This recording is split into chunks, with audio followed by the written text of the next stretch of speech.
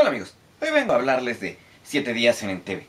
película basada en la historia real ocurrida en 1976 sobre un vuelo secuestrado y su subsecuente rescate, como lo indica el título en español de la película y el de la novela recientemente publicada sobre dicho asunto, llamada Operación Thunderbolt, el vuelo 139 y la redada en el aeropuerto en Entebbe, la misión de rescate de renes más audaz de la historia. Título tan específico que quien sea el encargado de hacer la sinopsis básicamente lo copió y pegó y se fue temprano a su casa, porque si bien lo descrito en este título tan largo es cierto, se olvidaron por completo de mencionar en la sinopsis que la mayor parte de la película está narrada desde la perspectiva de dos de los perpetradores del secuestro, con el fin de explicar sus motivaciones e ilustrar el dilema implícito sobre hasta qué punto el bien justifica los medios, especialmente en un entorno donde quien está en la posición de poder ha utilizado su condición histórica de víctima para volverse victimario y negarse a cualquier posible solución diplomática.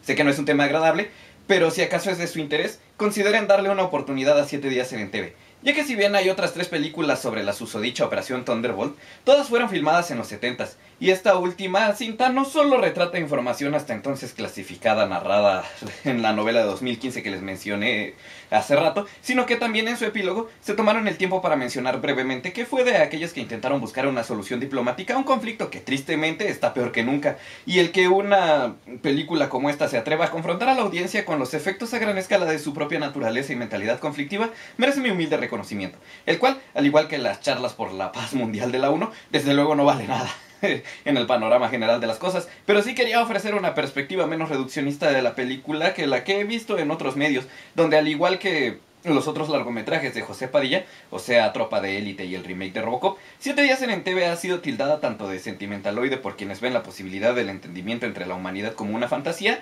así como de fascista por esas mismas personas que detestan el concepto de solución pacífica, casi tanto como el hecho de que les recuerden que su renuencia al diálogo siempre va a traer consecuencias violentas. No sé ustedes, pero a mí me parece fascinante cómo nuestras reacciones al trabajo cinematográfico de José Padilla dice más de nosotros mismos de lo que quisiéramos admitir. Así que si quieren esa introspección no deseada en películas de acción, les recomiendo chequen el resto de su trabajo, así como otras películas basadas en historias de la vida real interpretadas por Daniel Brühl, especialmente Salvador. Por lo pronto yo les agradezco por ver la reseña de hoy, no olviden dejar su comentario y nos vemos hasta la próxima.